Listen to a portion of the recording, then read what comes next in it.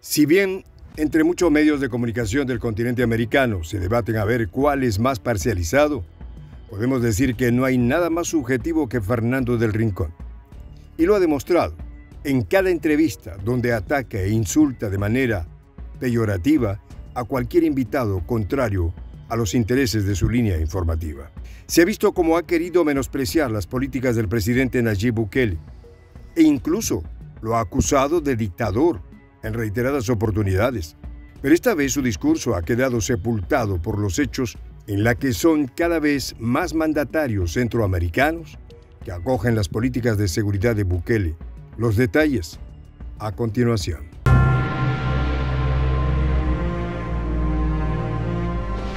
Voz de la Patria Grande. El presidente de Costa Rica, Rodrigo Chávez, ya le dijo a la opinión pública que quiere implementar el sistema de seguridad de Nayib Bukele, asegurando que esto sería genial para bajar homicidios que se dispararon durante el mes de diciembre. Ya se ha venido diciendo que de nada sirve que solo El Salvador implemente una política de mano dura contra la delincuencia si muchos de los miembros de las pandillas huyen a países vecinos para seguir delinquiendo. Es por ello que también la presidenta de Honduras, Xiomara Castro, ha decretado un estado de excepción en su país y ahora se le suma su homólogo de Costa Rica, Rodrigo Chávez, quien ya dijo que la fórmula Bukele será el próximo paso en materia de seguridad. Por su parte, los personeros de los medios de comunicación, de la mano de organismos de derechos humanos y organizaciones no gubernamentales, ya han saltado a la palestra pública advertir que a los países centroamericanos no les conviene la fórmula de seguridad de Bukele. Uno de esos voceros de medios de comunicación ha sido el periodista Fernando del Rincón, quien de manera casi vulgar ha atacado a casi todos los presidentes latinoamericanos, desde AMLO, pasando por Bukele y llegando a Perú, donde en varias ocasiones arremetió contra Pedro Castillo. Ahora, su posición radical queda en ridículo y se evidencia que no tiene ningún poder de influencia en la vida política, ya que pese a su discurso de desprestigio, son cada vez más los mandatarios que aceptan que la fórmula de Bukele da resultados. Meses atrás, Del Rincón cuestionó al Procurador para la Defensa de Derechos Humanos de El Salvador y lo acusó de ser cómplice de lo que catalogó como detenciones arbitrarias ordenadas por el presidente Nayib Bukele contra las maras. Ahora que más mandatarios se están sumando a la lucha contra las pandillas sin importar las críticas externas, no le queda más Del Rincón que mantenerse con la boca cerrada por un rato, mientras observa cómo no ha podido manipular la opinión de la población sobre Bukele. Se hizo público que ante los altos índices de inseguridad que presenta Costa Rica, el ministro de Seguridad Jorge Torres aseguró que implementar la política del presidente de El Salvador, Nayib Bukele, en su país podría ser una gran opción para reducir la inseguridad. Estas cifras negativas tienen atormentados y con miedo a los ciudadanos, por lo que radicalizar la seguridad al estilo de El Salvador es bien recibido por el pueblo de Costa Rica, quien tiene el poder al segundo mandatario con mayor popularidad en Centroamérica. Chávez llegó al poder hace menos de un año y al lado de Bukele, son los presidentes mejor evaluados en América Latina y sin importar la guerra mediática. Los mecanismos de seguridad en El Salvador están dando resultados. Precisamente, el mandatario salvadoreño envió en días anteriores un saludo de Navidad a los habitantes de su país, resaltando el éxito de su plan contra la delincuencia y cómo estas fueron las primeras Navidades que la población disfrutó plenamente. En su mensaje, el presidente Bukele aseguró lo siguiente. Esta es la primera vez que los salvadoreños estamos disfrutando una Navidad con una verdadera paz. La paz ya no es un sueño lejano o una palabra vacía. Ahora es una realidad.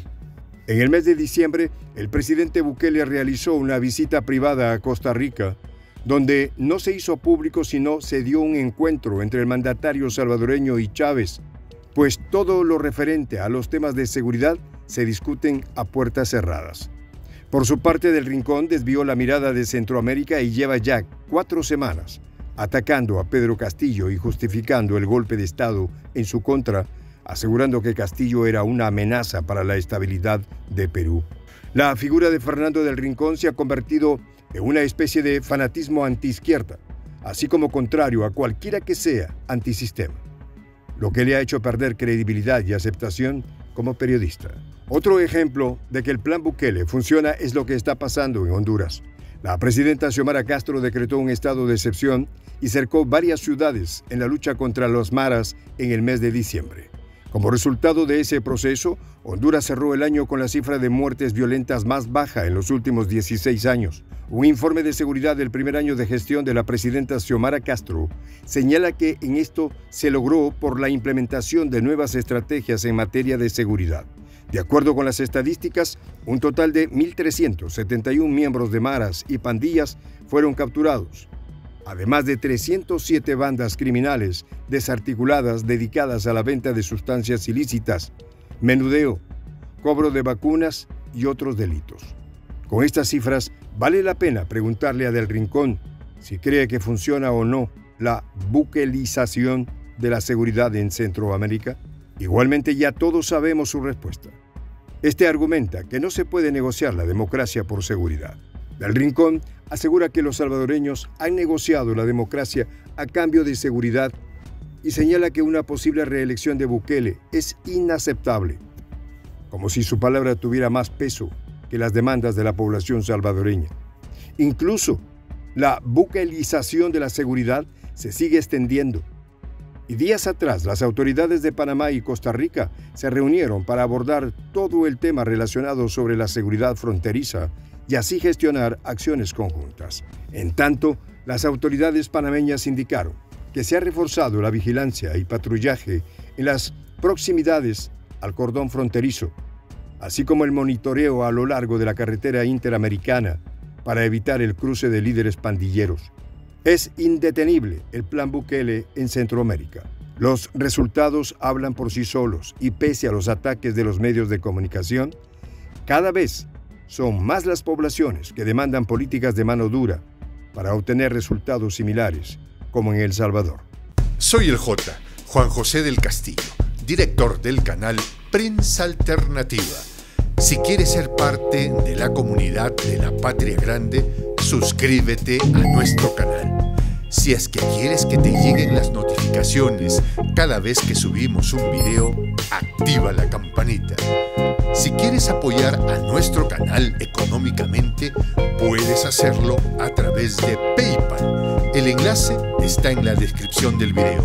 A nombre del equipo de prensa alternativa, me despido con esta expresión en el quechua milenario.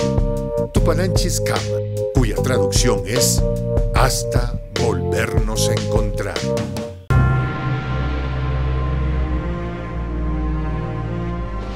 Voz de la Patria Grande.